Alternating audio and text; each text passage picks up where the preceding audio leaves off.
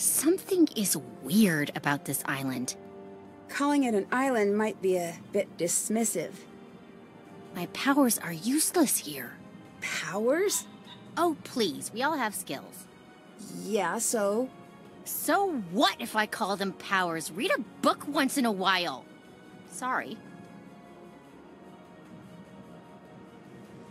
Is everything okay? You seem to be having a hard time. Everything is wrong.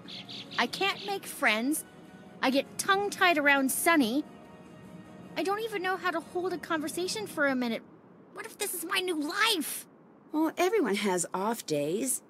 Nancy, you don't get it. This is all I have to offer. I'm not smart like you. I'm not sporty like George. I'm fun. That's it. And if that goes away, then what? Bess, snap out of it. I know, I'm trying. I just need to do something well. Just one thing.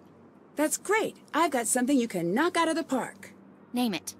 Patrick, I need you to figure him out. I don't know if that is possible. I know, but talk to him. I'll do my best. Bye-bye. Goodbye.